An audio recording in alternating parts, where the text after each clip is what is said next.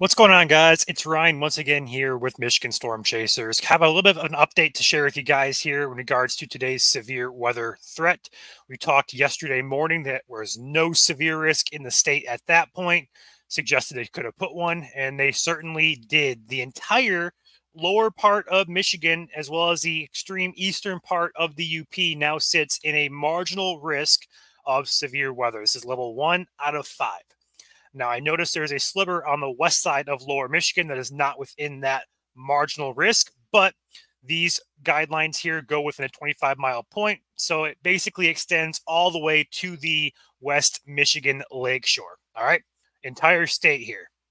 Now, there is a highlighted corridor we're going to mention here, uh, perhaps some higher potential for some severe weather. We're going to break this down as best as possible, as quick as possible. All right. So, your two main concerns per SPC outlooks today are damaging winds as your primary. This is going to be the exact same areas, entire lower part of Michigan, as well as the eastern part of the UP. Eastern part would be Chippewa, Mackinac counties. Okay. Other threat is hail, and that does stop short of the Ohio border, but it's very close to the entire lower part of Michigan here. So we're just going to say if there's any storm that pops up today, damaging winds and large hail across much of the entire state, minus most of the UP, again, only encompassing the eastern half of the UP in that risk for severe today, including the hail risk. Now, SPC does not have any designated area here for a tornado. All right. So they're thinking the threat is overall too low to mention. However, we're going to mention one area to watch closely this afternoon. All right. Now, with that being said, your SPC outlook, we leave it right here for you. Take a screenshot if you need to. Uh, we'll come back to this here in a second, but let's go ahead and dive into our models very quickly here. Now, I will say, go ahead and pop out the extension bar here. We're going to take a zoomed in look here uh, for our lower Michigan. Now, I understand the UP is, isn't a threat today, but I will just go ahead and preface this by saying the UP right now on the models looks to just have some general thunderstorms here. We'll see if that plays out correctly. I want to give you guys a zoomed in look here because uh, there's one area I want to mention for, a, perhaps a tornado or two possible.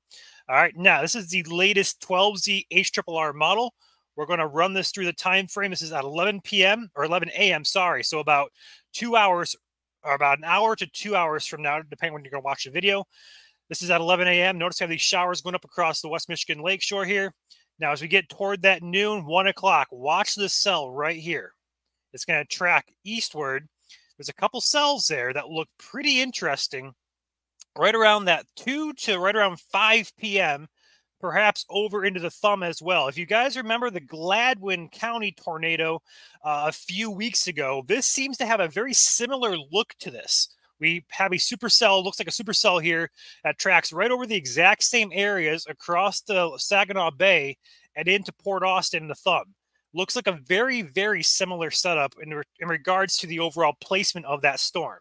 All right, but I will highlight that one area. Go ahead and pop up my extension tool here and draw for you guys this corridor right up here would be a concern that I would highlight for potential tornadic development, or maybe a supercell tries to rotate at least. All right. The reason I say that is jumping over here to our another website here to our same model, the HRRR at 12Z. We can actually take a forecast sounding and we'll load in the atmosphere profile here. I want to mention a few things here. Number one, our shear, which I'm going to zoom in here make it as easy as possible. Our shear looks pretty darn good. We are missing just a tad bit of low level spin, but there is enough there that I'd be concerned for. There's a lot of instability here in the lowest level. Our lapse rates are good. We have really good instability at most levels here. We are lacking just a bit in the mix layer, but also our hodograph, which is their measure with wind with height, is really well curved here in the lowest levels of the atmosphere. So when I look at this forecast sounding, there's a few things missing here. We can go really in depth if you want to, uh, but this would suggest perhaps some amount of rotation would be possible uh, as well if the storm can break through the little bit of a cap we have here uh, as well in the atmosphere. But overall, the wind shear is well oriented. Our instability is really good. We're missing a few things to kind of make this a more so concerned tornadic environment. But it does mention the warrant, or I think it does warrant mention that there could be one or two areas, or should I say, one or two storms that may try to rotate right around that 2 p.m. to 6 p.m. time frame. Uh, you're seeing on the model here it does pop up right around that Gladwin County area. It tracks across uh, that area into the thumb of Michigan. So we're going to watch that close. We'll be here tracking that live if need be. All right. Outside of that, we are seeing multiple rounds here of showers and storms for much of the state. Again, this is going to be widely scattered as we get into the afternoon here that one area looks to be highest concern at 4 p.m. But notice we get into the evening, we have these other showers and storms developing across lower Michigan. Notice the UP stays pretty much subtle up there for now through 6 p.m. Eastern. Move that through 7 to 8 p.m. and just some scattered showers here. Now, I will say the atmosphere today does have a lot of what we call downdraft cape. Uh, so definitely could see some microburst potential, and that would then lead to damaging winds, et cetera, et cetera. So any storm that does pop up across lower Michigan, and we'll go to say perhaps eastern parts of UP as well, do have potential uh, for damaging winds via microbursts or downbursts. Okay. That is your gist. Main time frame will be right around that 2 p.m. I think could be a little bit earlier than that for sure. But your severe threat should be starting right around 2 p.m. to roughly 7 to 8 p.m.